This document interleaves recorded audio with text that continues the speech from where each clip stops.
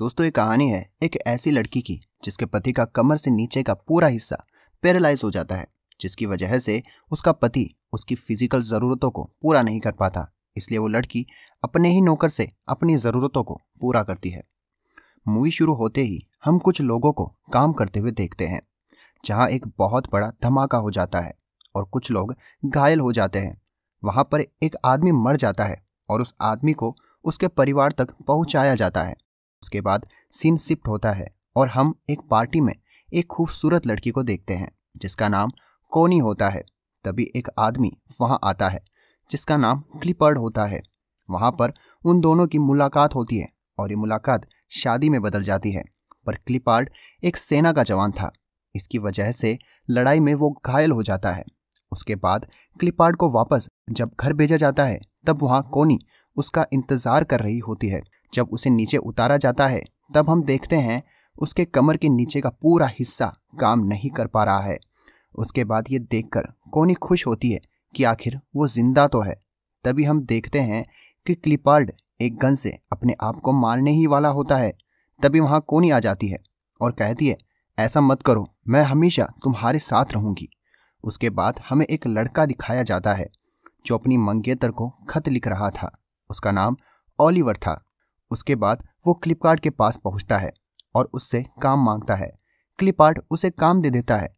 उसके बाद हम देखते हैं, जब क्लिपार्ट को उसकी नौकरानी नहला रही होती है, तब वो क्लिपार्ट से कहती है, कोनी अच्छी लड़की नहीं है। उसने सिर्फ़ तुम्हारे पैसों के लिए तुमसे शादी की है। ये बात कोनी सुन लेती है। अगले दिन, कोनी और क्लिपार्ड जंगल की तरफ़ जाते हैं, जहाँ वो देखते हैं कि ओलिवर एक लकड़ी से बनी जगह पर रहता है। कोनी वहाँ पर ओलिवर को पहली बार देखती है। और उसे इशारे करने लगती है। तब ओलिवर ध्यान नहीं देता। उसके बाद कोनी चाबी के बहाने ओलिवर के पास आती है। तब ओलिवर कहता है कि आपको यहाँ आने की ज़रूरत नहीं थी। उसकी गुस्से भरी आवाज़ सुनकर कोनी भी गुस्सा हो जाती है और वहाँ से चली जाती है। अगले दिन ओलिवर कोनी को खत लिखता है और अपनी हरकत की माफ़ी माँगता है। उसके अगले दिन कोनी फिर से जंगल में जाने लगती है, जहाँ वो ओलिवर को देखकर पिघलने लगती है। उसके बाद जैसे ही ओलिवर कोनी को देखता है और अपनी शर्ट पहन लेता है। तभी वहाँ बारिश होने लगती है, जिसकी वजह से कोनी ओलिवर के घर ही रुक जाती है। उसके बाद कोनी अपने घर आ जाती है। जब कोनी और क्लिपार्ड एक साथ सो रहे थे, तब कोनी उसके साथ कुछ करना चाहती थी, पर क्लिपार्ड का कमर से नीचे का पूरा पोर्शन एकदम बेकार पड़ गया था, जिसकी वजह से कोनी प्यासी ही रह रही थी। इसलिए क्लिपार्ड भी परेशान था। जिसकी वजह से वो एक थेरेपी लेता है, पर अफसोस, वो थेरेपी उस पर काम नहीं करती। अगले दिन कोनी वापस ओलिवर के पास जाती है और ओलिवर से कहती है, मुझे एक चिड़िया का चूजा चाहिए। तब ओलिवर अपने घर से एक चूजा लेकर आता है, क्योंकि ओलिवर चिड़िया संभालने का ही काम करता था। कोनी ओलिवर के हाथों से चूजा पकड़ते समय उसके हाथों को सहलाने लगती है।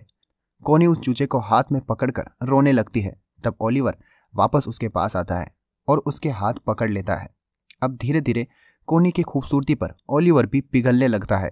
उसके बाद दोनों ओलिवर के घर में जाते हैं और फाइनली दोनों एक साथ होते हैं। कुछ इस तरह से अपने ही नौकर के साथ कोनी अपनी प्यास बुझाती है, क्योंकि उसका पति उसके साथ कुछ भी नहीं कर पा रहा था। उसके बाद जब कोनी अपने घर जाती है, तब कोनी कहती है, क्या तुम ये करके खुश हो?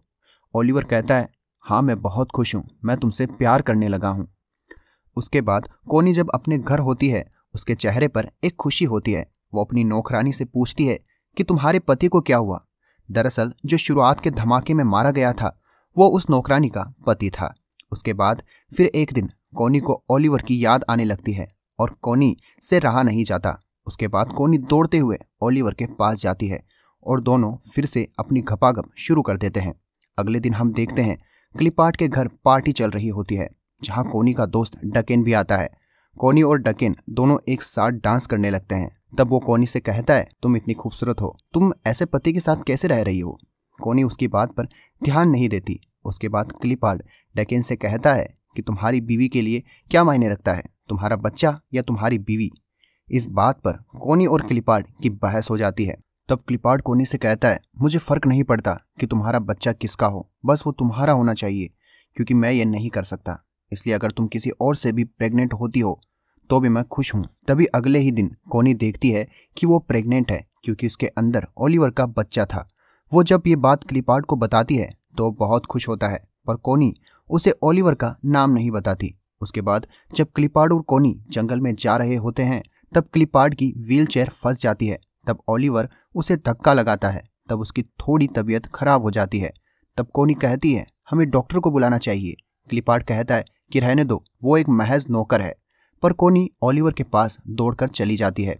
तब ओलिवर कहता है कि तुमने सिर्फ़ मेरा इस्तेमाल किया, क्योंकि तुम्हें बच्चा चाहिए था।